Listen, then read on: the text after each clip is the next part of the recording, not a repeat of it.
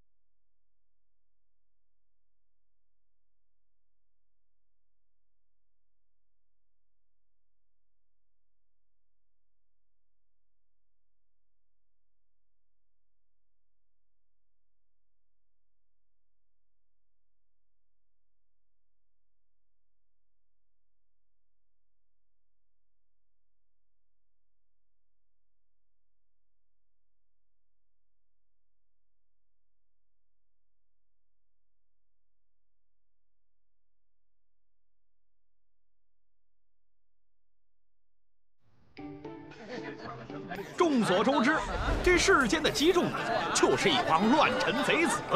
好在到了我大明王朝，我祖圣上英明，成立了专门的卫所，这才将他们赶尽杀绝。好，大家讲一讲十年前轰动全国的张刹停机案。话说我大明万历三年，刘强。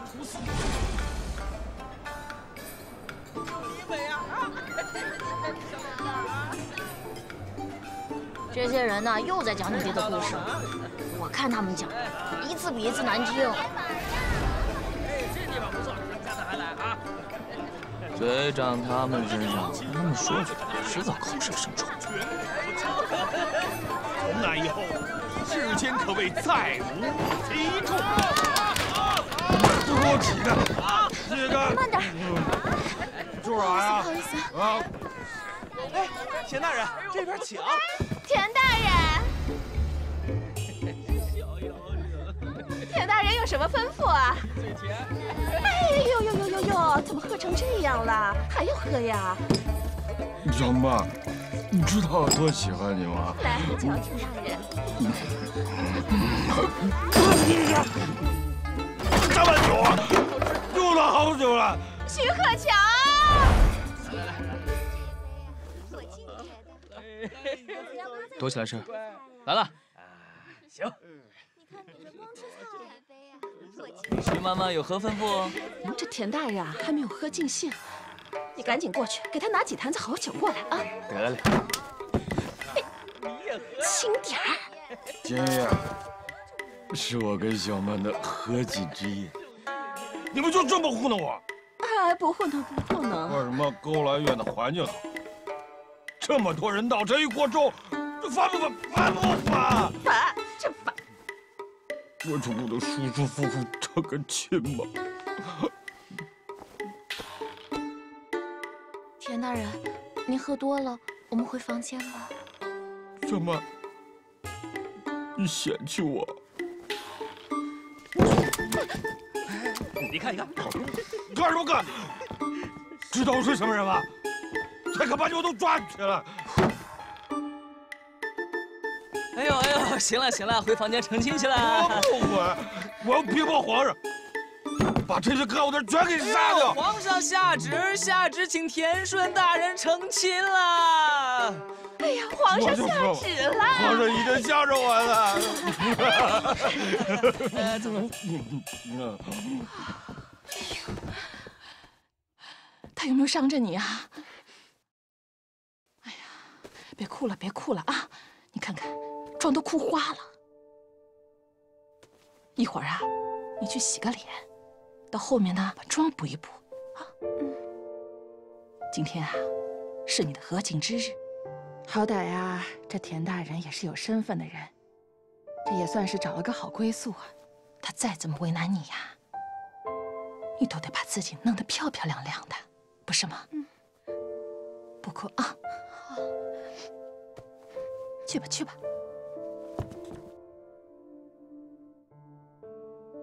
哎呦，哎呀，哎呀，这都什么事儿啊？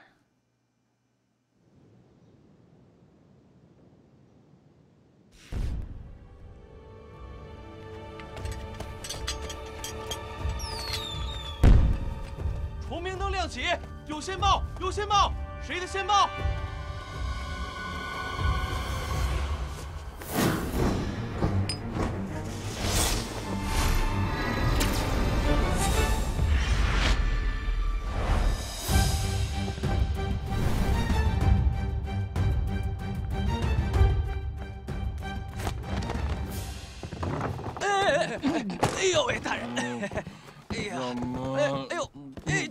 进去洗个香香。小曼，哎呀妈呀！小乔子啊，这田大人怎么样了？怎么喝成这样啊？哎，别着急，别着急，老办法啊！想一辙，想一辙，让他一觉睡到天亮。啊啊啊！哎呦，你得悠着点啊！哎呀，放心吧。哎，你这小子，他可是当官的呀！哎呦，姐姐喝的什么酒啊？等会儿再给你们换一壶啊！哎呦，祝两位百年好合，好合！哎，小乔子，哎，大旗子呀！哎呦喂，这满面春光的，又给哪位姑娘一枕去了？去去，说什么呢？我看你这面色苍白，四肢无力的。是时候也给你开个方子了。去去去，瞎说什么呢？人身体结实的很呢。不跟你在这闲聊了，得给小曼房间的大人送酒去了。哎，去小曼房间？难道今儿小曼？今天是小曼和田大人的和亲之夜。田大人，成，那我就先告辞了。嗯，回见啊。回见。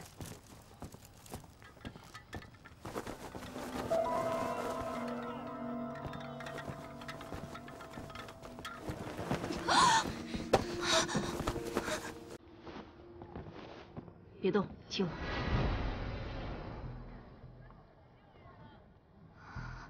啊，亲我。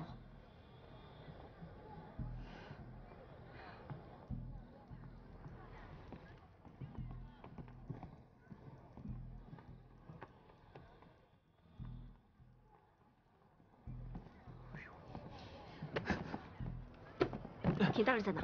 啊，跟着送酒那人去吧。今天的事不能告诉任何人，否则后果自负。好的，公子，放心。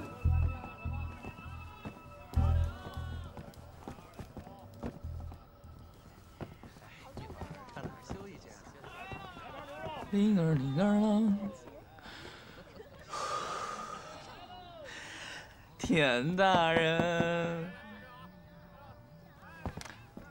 小甜甜，进去了啊！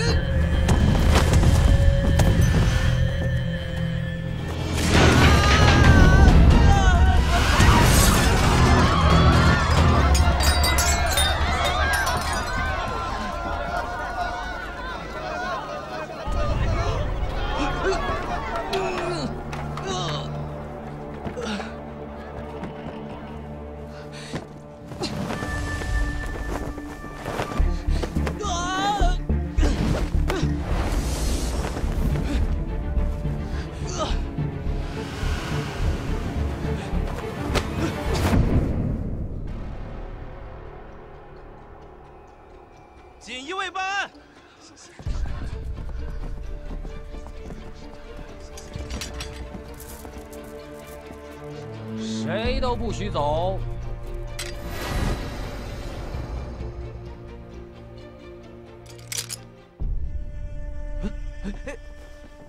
哎锦衣卫大人，锦衣卫大人，我举报，我举报，我找到杀人凶手了，就是他，就是他杀的人。我不是，我是来抓他的。那他他在上去时候，我就觉得他鬼鬼祟祟的。你看他这身打扮，不是刺客是什么呀？我我没有，我是一路跟他来的，他才是凶手。这俩人说话都有问，全都给我带下去。是。等等，此案由崇明卫负责。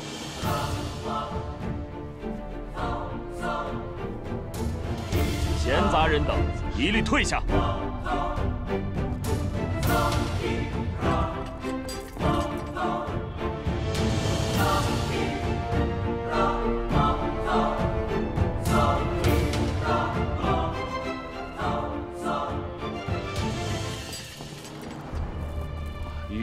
环，你来干嘛？对，文环大人。这个人，就是当年杀了我爹的宇文环。等会儿，什么意思啊？我们锦衣卫先到的，人是我们抓的，这也是我们锦衣卫范畴之内的案子，而且这个案子已经非常的清楚了。我给大家分析一下，此案在勾栏院发生。杀人是给寻花问柳之人一个严重的警告。现在我们抓住了两名罪大恶极的嫌疑人，我相信回去审讯之后，他们一定会坦白从宽。所以你们来晚了，知道吗？等会儿，你笑什么？宇文环大人，你给我解释一下他在笑什么。段锦，过来给洛司公洛大人解释解释吧。死者男，四十一岁。身高七十九，从二楼屋子调至大厅，衣着整洁，袖口和腰带上有明显的勒痕。他的身上有紫色花纹。很多目击者称，在他飞出房间时，看到屋内有蓝色的火光。那么，目前的线索分别是蓝色的火光，身上的紫色花纹，以及。弹出跌落在大厅。结合这一切现象，此案与十年前的停机案极为相似，所以初步推断是击中所为，亦能为提名。而更详细的信息需要将尸体运回崇明卫解剖，才能推断。不，不是你等会儿，那我抓这俩嫌疑人，怎么说呀？放了，放，放了。宇文环大人。你不会是想包庇疑犯吧？他是我的人，你敢说我崇明卫有凶犯？放人！放人！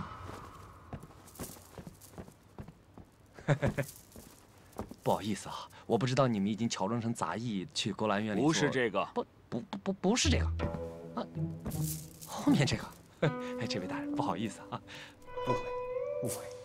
宇文大人，我接到线报，勾栏院有击中作案。我一路跟随他进入死者的房间，随后便看到蓝色的火光，我便认为，他就是那个使用庭名的击中。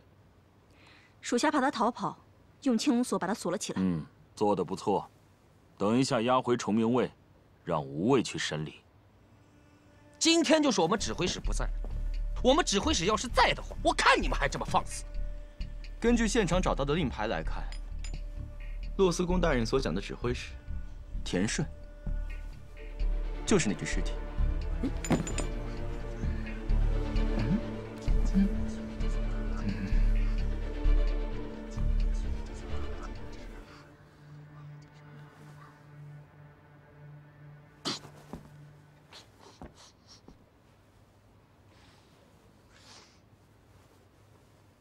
我我宣布，此案与击中有关，就全权交由崇明卫负责。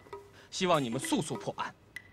我也要对锦衣卫的众官员们说，崇明卫破案的时候遇到什么困难，你们绝对不要吝惜自己的才能，更不要吝惜自己的身体，要竭尽所能的帮助崇明卫破案，明白了吗？明白了。嗯嗯嗯，哼。段锦做得好，兄弟们，我们撤。走走。嗯，哎，大旗子，哎，快快快，快跟这位这位大人说一声，这个这就是我们勾栏院的行脚医生大旗子，他就能证明我根本不是击中，我是一个好人，我是一个良民，是不是？闭嘴！谁知道他是不是你同伙？他，哎，你说两句。你快跟我走。所有崇明卫分成两组，一组留在勾栏院继续调查取证，另外一组押上所有嫌疑人，回崇明卫验明身份，如有击中，立即处死。宇文大人，此案像极了十年前张刹刺杀太子时的情节。嗯，所以此案事关重大，我要进宫面见太子。是。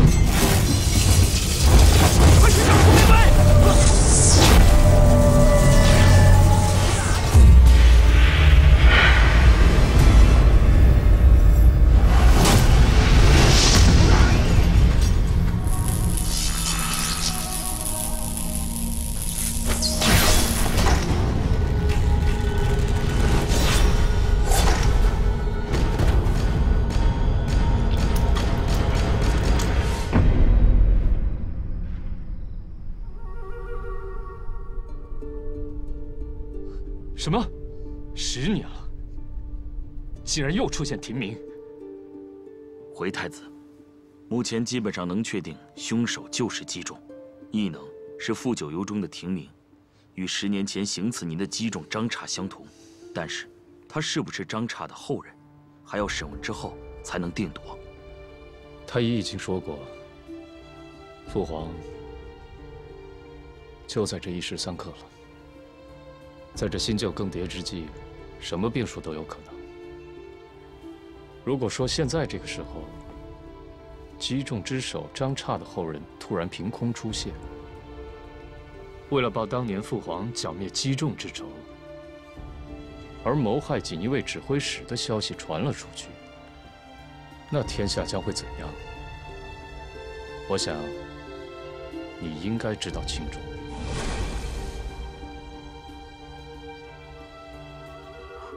臣定会封锁消息，尽快缉拿凶手归案，铲除一切击中。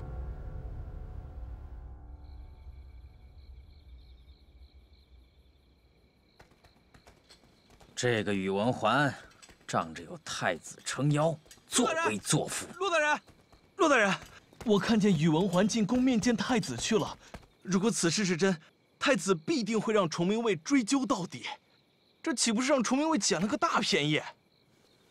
不如我们去把指挥使的尸体给他抢回来，就以田大人祖上三代为皇家效力为由，要厚葬田大人的尸体。这崇明卫没了尸体，我看他们上哪儿查证去？走，接田大人回锦衣卫。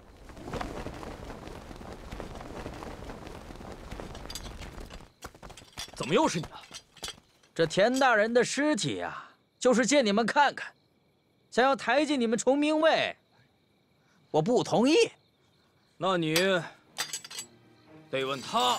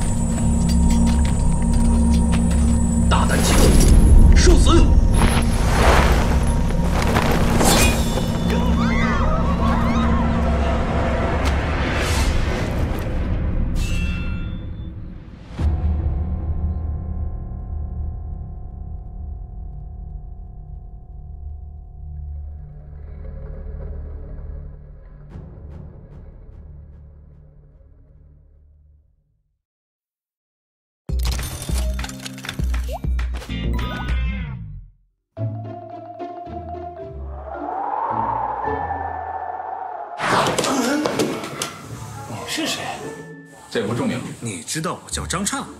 哈哈哈哈看来我的名气远扬啊！想当年老夫的名气那可是如雷贯耳啊！当年老夫那可是一夫当关，万夫莫开呀！三千禁军，老夫大手一挥。张大爷，张大爷，但是您这一出场就领了盒饭，不说还好，一提这事我就一肚子火。我这好不容易闯进宫里面刺杀太子，出场还不到五分钟就嗝屁了，就死了。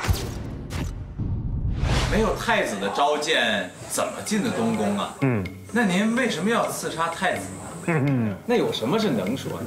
小子，你这是套话。你知道什么叫剧透吗？老夫敢说，你敢播吗？啊，那您就说说点可以说的。老夫有一个儿子，这个儿子啊，一定会继承老夫的英俊潇洒、足智多谋，会完成老夫未尽的大业。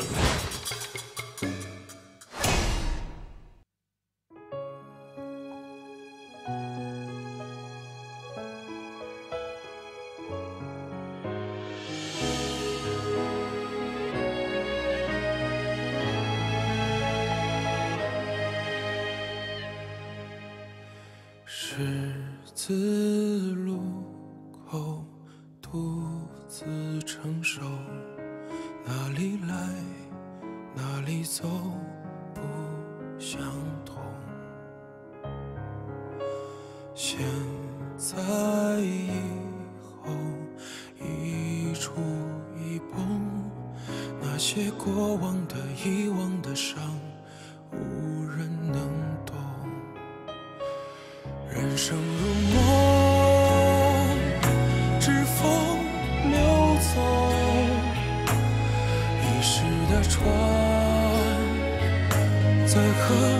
飘。